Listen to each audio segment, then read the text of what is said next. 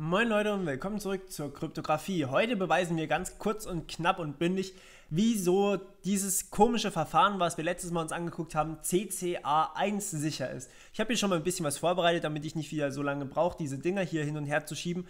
Und ja, das ist wie immer unser Challenger C, unsere, äh, unser sozusagen Angreifer-Simulator oder Entscheider, wie ihr es auch immer nennen wollt. Das ist das hier. Und das hier ist unser kleiner Angreifer, von dem wir annehmen, dass er das CCA1-Verfahren brechen kann, das wir konstruiert haben. Wir nehmen an, dass unser A das kann. Und wenn unser A das kann, dann kann unsere Konstruktion hieraus das K-Repetition-Verfahren CPA brechen. Und wir wissen ja, dass das CPA sicher war und deswegen kann das Ganze nicht sein. Also wissen wir, dass es so einen Angreifer nicht geben kann und deswegen ist das Ganze CCA1 sicher. Ja, und der Beweis ist irgendwie sehr stumpf, aber total witzig, wenn man sich das so überlegt, dass das so funktioniert. Ähm, ja, ihr könnt ja mal ein bisschen drüber nachdenken, während ich hier euch das Ganze vorführe. Und zwar, was bekommt unsere, unser A' sozusagen, also wir, im CPA-Spiel von K-Repetition, Mac Elise? Naja, der bekommt ja K Public Keys, also PK1 bis hin zu PKK. Ähm, PKK. Okay. So, und dieses, diese K-Public Keys müssen jetzt für alles andere ausreichen. Was macht jetzt unser A', also wir hier drin in diesem grauen Teil? Naja, wir ziehen uns einfach aus dem Gen-Algorithmus, den haben wir ja logischerweise auch, ziehen wir uns einfach nochmal K-Schlüssel, also wie beim K-Repetition Mac Elise, ziehen wir uns hier jetzt einfach mal nochmal K-Schlüssel und zwar mit Secret Key in diesem Fall jetzt. Das heißt, wir holen, nein, ich möchte selbst entscheiden, wo ich hinschreibe, danke. Wir ziehen uns ähm, PK und ich nenne es jetzt gleich so wie es ist, K plus 1 bis hin zu PK 2K, also K plus K im Prinzip. Und wir ziehen uns SK1 bis hin zu ähm, SKK. Warum steht hier jetzt SK1 bis SKK? Naja, wir haben ja hier keine Secret Keys gekriegt. Die will unser, äh, unser Challenger natürlich nicht preisgeben. Und deswegen nehmen wir einfach mal an, okay, dieser, diese Public Keys hier sind natürlich Public Keys und wir brauchen aber für das äh, CCA1-sichere Verfahren, das wir letztes Mal konstruiert haben, brauchen wir noch K-Secret Keys. Und die kriegen wir, wenn wir uns nochmal K-Public Keys konstruieren. So, und jetzt können wir einfach folgendes machen. Jetzt können wir hier ein bisschen durcheinander würfeln. Wir können sagen PKK plus 1 und PK1. Wir würfeln einfach komplett durcheinander, zufällig irgendwie hin und her, okay? Und PK1 ist nachher vielleicht PKK plus 1. Also wir ähm, ich schreibe es gerade mal so übereinander, wie wir es letztes Mal hatten.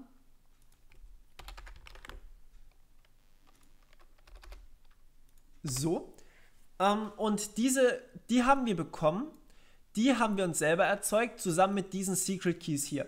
Und jetzt, damit es echt aussieht für den Angreifer, damit man nicht sagen kann, okay, das ist jetzt, äh, sieht nicht echt aus, macht man folgendes. Man würfelt einfach hin und her und fügt das hier oben ein und den PK1 fügt man unten ein und nennt sie dann halt wieder PKK plus 1. Und im Prinzip sind jetzt die hier, die wir vom Challenger bekommen haben, irgendwie hier drin und hier drin verteilt. Und unsere, die wir uns selber generiert haben, sind auch hier oben drin verteilt und hier verteilt.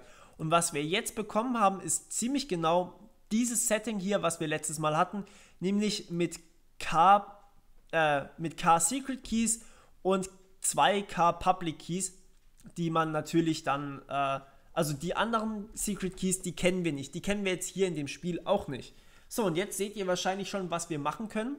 Wir können ganz einfach unserem Angreifer, also dem, der das CCA1 sichere Verfahren brechen kann, können wir dieses, äh, halt, der Pfeil muss andersrum, ähm, der schickt uns ja immer wieder so ein paar Nachrichten und die will er entschlüsselt haben. Also er schickt uns nicht Nachrichten, sondern er schickt uns eigentlich Chiffrate. Die nenne ich jetzt einfach mal CI, weil er schickt uns, keine Ahnung, x-beliebig viele ähm, Chiffrate, die wir hier einfach für ihn entschlüsseln müssen. und wir können diese Chiffrate hier entschlüsseln, denn die haben ja diese Form, ähm, die wir uns schon mal überlegt haben hier, mit, ähm, mit ganz, ganz vielen verschiedenen Verschlüsselungen von M. Also hier steckt drin eng von PK1 plus S1, also quasi K mal verschlüsselt mit ähm, K verschiedenen, ja, entweder oben oder unten sozusagen ausgewählt. Und das können wir natürlich hier jetzt entschlüsseln für unseren, äh, für unseren Angreifer mit ziemlich, ziemlich hoher Wahrscheinlichkeit, denn wir haben ja hier K-Secret Keys und dass wir nicht entschlüsseln können, kommt ja nur vor, wenn er wirklich gerade K mal das falsche Bit gezogen hat. Das heißt, höchstwahrscheinlich können wir für ihn entschlüsseln und schicken ihm die Nachricht MI zurück. Also ich schreibe es gerade mal hier drauf. MI. So, das wird hoffentlich noch richtig gedreht. Ja, super. Okay, und was er jetzt bekommt, ist ein vernünftiges Entschlüsselungsorakel. Das Verschlüsselungsorakel brauchen wir jetzt nicht mal mehr simulieren. Die Public Keys kennen sowieso alle auf der ganzen Welt. Die geben wir ihm einfach mal mit. Da kann er sich selber seine Verschlüsselung zusammenbauen.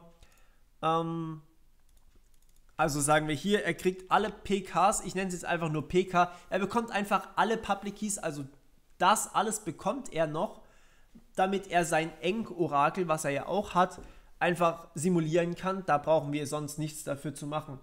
So, und jetzt darf der hin und wieder ein paar Sachen anfragen, kann was rechnen, so viel er möchte. Und wir wissen, am Ende nehmen wir ja an, A kann unser CCA1 sicheres Verfahren brechen. Okay, das bedeutet, irgendwann mal kommt eine, beziehungsweise nicht eine, sondern zwei Nachrichten M0 und M1. Ups, mal wieder falsch draufgekommen. Und M1. So, und diese beiden Nachrichten, die verschlüsseln wir jetzt für ihn, beziehungsweise wir verschlüsseln nur eine und zwar wir verschlüsseln perfekt zufällig eine Nachricht. Wir ziehen uns wieder mal unser Bit B und das verschlüsseln wir jetzt hier. Aber woher kommt dieses B? Wir müssen ja am Ende auch noch irgendwie dieses CPA-Verfahren von äh, CPA-sichere K-Repetition McElies brechen. Das heißt, diese Nachrichten M0 und M1, die sind nicht nur unsere Challenge-Nachrichten sozusagen, sondern wir geben die einfach direkt weiter an unseren Challenger und der bekommt, na, darf ich jetzt bitte schreiben? Dankeschön. Der bekommt auch M0 und M, ups, und M1.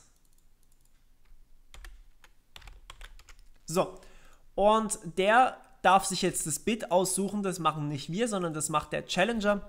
Der sucht sich jetzt das Bit B aus, perfekt zufällig wie immer aus 01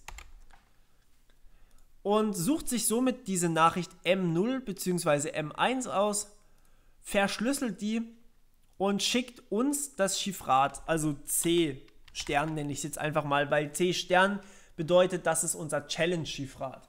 Okay, und was wir machen hier, wir schicken einfach das Challenge-Chiffrat direkt weiter, interessiert uns eigentlich nicht. Und das darf jetzt hier unser Angreifer A rechnen. Okay, und was der jetzt macht ist, naja, der ist ja ganz glücklich, aber der darf jetzt sein Entschlüsselungsorakel, also uns, darf er nicht mehr anfragen. Warum er das nicht darf, das machen wir gleich. Aber ähm, das ist ja CCA1, falls ihr euch an die Definition davon erinnert. Und jetzt haben wir ja gesagt, der Angreifer kann CCA1 brechen. Das heißt, der findet aus diesem C-Stern raus, ob M0 oder M1 gebrochen wurde.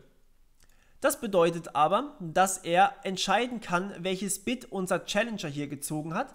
Und wir können das einfach direkt als grauer hier, wir können es direkt weiterleiten. Und der gibt ja immer ein Bit B' aus. Wir leiten einfach dieses Bit B' direkt weiter und ähm, haben somit die CPA-Sicherheit von dem K-Repetition Mac Elise gebrochen, falls dieser Angreifer hier die CCA1-Sicherheit von unserem Verfahren, die, das wir das letzte Mal konstruiert haben, gebrochen hat. Gut, jetzt noch die letzte Frage. Warum ist das Ganze nicht CCA2 sicher? Sprich, warum kriegt unser Angreifer, sobald er dieses, Verfahren, äh, dieses Challenge-Referat hier hat, warum darf er ab hier unten drunter nicht mehr das, ähm, das Entschlüsselungsorakel, also sprich uns mit dem Secret Key anfragen?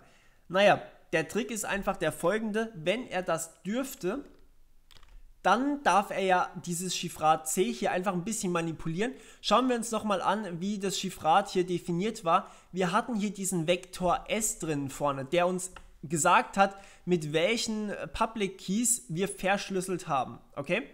Und was der Challenger, äh, der Angreifer jetzt machen könnte, er könnte einfach eins von diesen Bits hier drin flippen, also S0, äh, S1 zum Beispiel, wenn es vorher 0 war, auf 1 setzen und das darf er dann wieder an das Entschlüsselungsorakel hier, das darf er anfragen und das könnten wir ihm halt nicht beantworten. Beziehungsweise ähm, es wäre einfach trivial, weil Entschlüsseln wäre dann sowieso ja bei der Entschlüsselung, ob ich jetzt mit dem Secret Key, äh, mit dem Public Key hier oben verschlüsselt habe oder ob ich mit dem verschlüsselt habe, das bringt ja keinen Unterschied. Und deswegen darf er das so nicht machen. Ähm, und deswegen kriegt er hier einfach das Deck-Orakel weggenommen. Deswegen haben wir hier nur CCA1-Sicherheit. Wie wir CCA2-Sicherheit erreichen, das zeige ich euch nächstes Mal. Und dann kommt auch raus, warum wir dieses komische mit K mal Secret Key wegschmeißen und so einen Schwachsinn überhaupt gemacht haben. Okay, ich hoffe, es hat euch mal wieder gefallen, so ein Beweis. Und wir hören uns beim nächsten Mal. Bis dann, ciao.